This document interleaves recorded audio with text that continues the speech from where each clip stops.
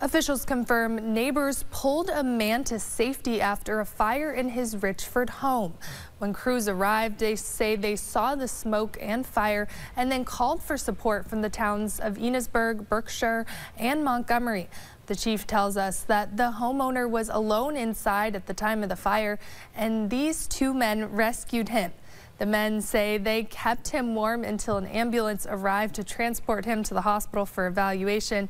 Officials say he appeared in good condition. However, crews are calling the house a total loss.